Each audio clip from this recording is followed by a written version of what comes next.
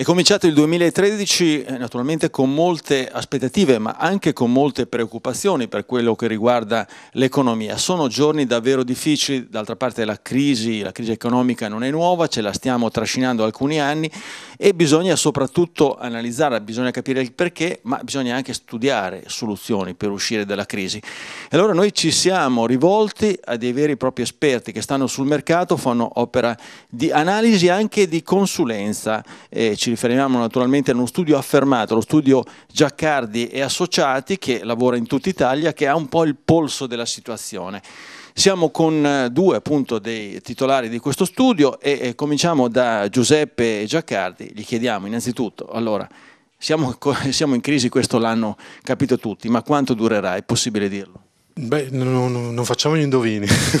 azzardiamo delle previsioni ma non facciamo gli indovini. Eh, pensiamo che sarà ancora una crisi che abbia una portata di un paio d'anni, senz'altro, eh, perché eh, assistiamo ad un riassestamento delle logiche economiche a livello planetario. Eh, per esempio, i grandi traffici una volta andavano da Occidente verso Oriente, oggi invece i grandi traffici, le grandi merci, le grandi attività di produzione vanno da Oriente verso Occidente, quindi è cambiata anche la natura, il ruolo per esempio dell'Occidente a cui apparteniamo a livello planetario mondiale. Questo richiede un assestamento.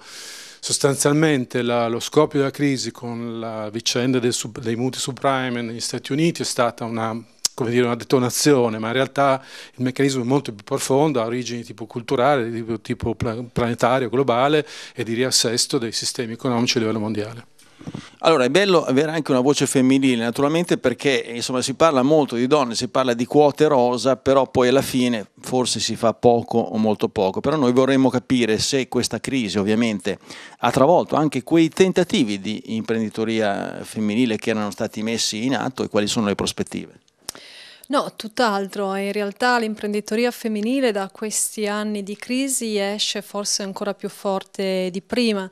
Eh, abbiamo avuto occasione negli scorsi anni, esattamente due anni fa, di fare proprio una ricerca, la prima in Italia, intitolata Fattore D, eh, che aveva l'obiettivo appunto di dimostrare che le imprese femminili o con una leadership forte femminile sono anche più performanti dal punto di vista economico. Questo è affermato in diverse ricerche realizzate negli Stati Uniti, noi siamo andati a verificarlo nello specifico qui nel territorio di Ravenna e abbiamo visto che effettivamente confrontando imprese femminili e imprese non femminili, quelle femminili sono più performanti su 11 indicatori economici su 13. Su questo abbiamo analizzato i dati di bilancio, quindi non sono opinioni, sono dati oggettivi.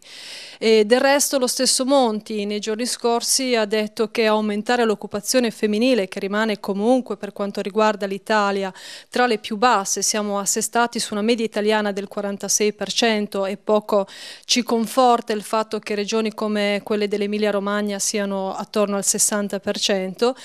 perché una regione come la nostra, come l'Emilia Romagna, ma anche le regioni del nord si devono confrontare con il resto di Europa dove l'occupazione femminile è già all'80%.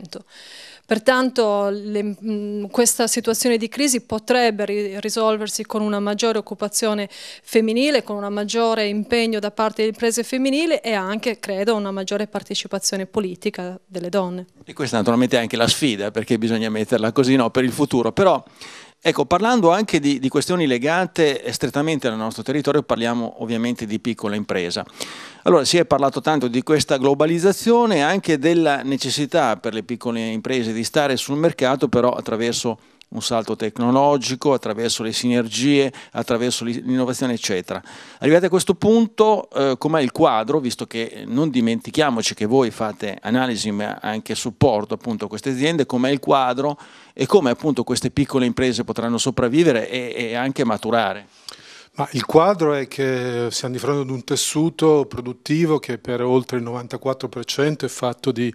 piccole imprese, che vuol dire nella fascia compresa tra i 2 milioni di fatturato e i 2 e i 10 milioni di fatturato. Eh, in molti casi sono anche imprese artigiane eh, che sono cresciute nell'arco degli ultimi decenni a ridosso di grandi fenomeni che erano le imprese maggiori oppure gli investimenti pubblici e la capacità dei soggetti pubblici di creare opportunità di lavoro con infrastrutture, con attività di diverso genere. Oggi questa è una realtà che non esiste più, Cioè oggi la leva che,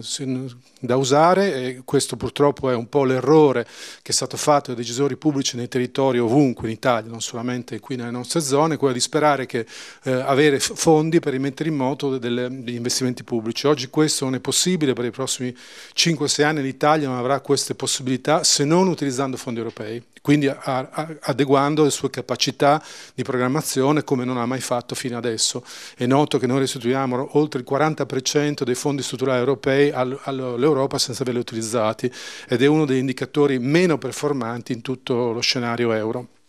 Ecco, quindi eh, internazionalizzazione, nuove tecnologie, questa è la sfida e quindi come fare perché anche le piccole imprese ne possano approfittare. Beh, ehm, la parola d'ordine secondo noi è diventare un'impresa online, cioè un'impresa che sia basata sul linguaggio e culture del web e questo non richiede investimenti enormi, eh, parliamo di poche decine di migliaia di euro ed è possibile che questo tipo di approccio eh, permetta anche di aggregare soggetti tra di loro loro per degli scopi comuni, eh, quindi facendo economia di scala sul piano dei costi, ma anche economie, economie organizzative sul piano dei vantaggi di offerta rispetto al mercato. E poi soprattutto la possibilità di fondere e moltiplicare in questa fusione anche le conoscenze e le relazioni di cui le imprese sono dotate. È noto che l'economia moderna, questo scrive Brodel dalla Rinascimento, studiando proprio l'economia del Mediterraneo, l'economia moderna è l'economia delle relazioni, cioè delle capacità di fare in modo che le merci merci incontrino domanda culturale e siano una risposta culturale più evoluta rispetto alla domanda di partenza. Quindi eh, su questi piani l'uso delle tecnologie del web, che è un, un uso facilitato perché oggi l'accesso è molto basso, perché oggi esistono giovani che studiano queste cose, per esempio c'è la cosiddetta generazione dei digital native, quindi da soli sono portatori di molte di queste competenze, eh, permettono di eh, affrontare delle sfide, delle opportunità che solo alcuni anni fa non, non era possibile. Il problema qual è? Noi per esempio l'abbiamo studiato facendo una ricerca per l'Associazione Artigiana di Ravenna all'inizio eh, dell'anno scorso, è che eh, c'è ancora una bassa cultura d'impresa, una difficoltà a riconoscere queste cose e eh, come dire, la parte più evoluta dell'uso del web che va sotto la, questa sigla del web 2.0, del cosiddetto social web, è vissuta ancora con disagio, soprattutto da chi ha la mia età per esempio o da chi non è come dire, eh, frequentemente portato ad utilizzare questi sistemi per costruire rapporti rapporti relazioni per promuovere le proprie eh, idee, i propri prodotti, i propri servizi. Credo che in questa direzione bisogna andare, bisogna dare molto spazio ai giovani dentro e fuori le imprese e ascoltarli anche sul piano dell'innovazione, della domanda dei bisogni, perché eh, le tecnologie, soprattutto le modificazioni che lo stile di vita delle persone, dei consumi è, è stata indotta dalla crisi di queste tecnologie, apre anche una nuova domanda. E le imprese hanno la possibilità di tornare a crescere se, se riescono a intercettare, a comprendere, a riproporre porre questa domanda in chiave di nuovi prodotti e di innovazione. Benissimo, quindi un salto di qualità anche dal punto di vista organizzativo. Lei ha parlato di giovani e riprendiamo appunto questo discorso perché eh, strategicamente potrebbe essere importante per il futuro, però purtroppo adesso pare che quando si parli di giovani si parli di una fascia debole dell'economia in quanto hanno difficoltà nell'accesso al lavoro e molte volte non viene sfruttata la loro professionalità. Allora come si fa con i giovani? Eh, come si fa con i giovani? Le difficoltà che hanno i giovani sono difficoltà che, che noi, mi ci metto anch'io, ormai faccio outing sull'età, visto che non rientro più nella categoria giovani, e sono difficoltà che il sistema e noi abbiamo creato per loro e penso quindi che noi dobbiamo risolverlo. Eh, penso che la prima azione da fare sia quella di intervenire sui costi del lavoro, cioè lo, lo, lo capisco oggi ancora di più come azienda, oggi assumere un giovane qualificato è quasi impossibile perché è impossibile soddisfare le aspettative minime di eh, un emolumento economico, di uno stipendio economico dignitoso perché i costi per un'azienda sono eccessivi successivamente altri.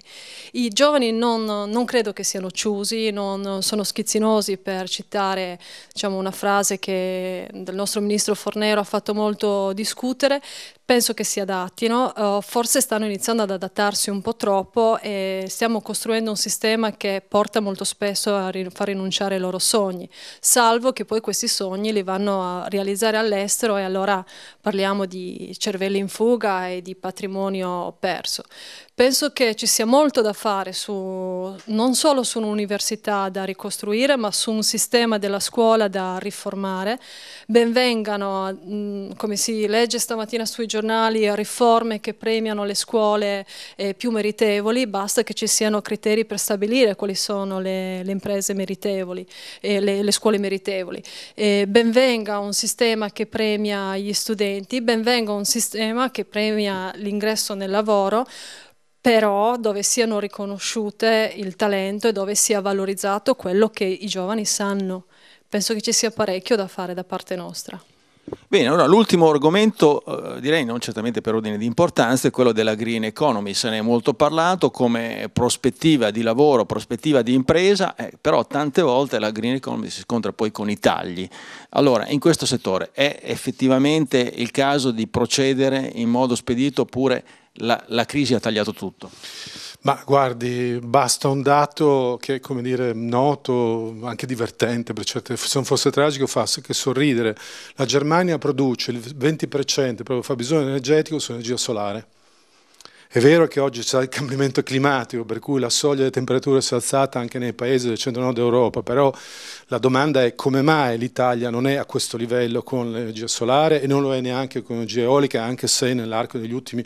dieci anni è cresciuta notevolmente, perché ci sono degli interessi forti ovviamente. Però credo che eh, la Green Economy oggi deve essere allargato ad un discorso di, più, più denso, più profondo e che ha anche una maggiore capacità delle risposte nel breve come nel lungo lungo termine, che si chiama secondo me il cosiddetto modello del smart city,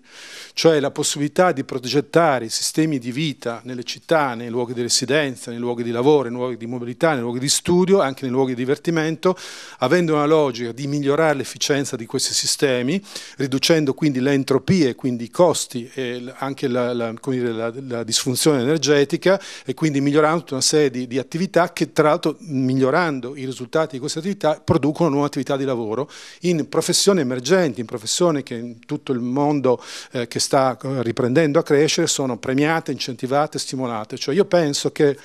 non bisognerebbe più dare incentivi a chi compra un pannello solare o impianta una ehm, eh, dire, pala eolica, eh, bisognerebbe dare alcuni crediti imposta immediati, automatici, come fanno per esempio in Inghilterra o in Gran Bretagna o in Germania per chi fa innovazione e ricerca su questi sistemi, su queste tecnologie, ma bisogna premiare i giovani che a livello di competenza creano attività, prodotti e servizi che servono a far funzionare questa crescita della vivibilità nelle città e nei luoghi di residenza e di lavoro lavoro che va sotto la definizione di smart city.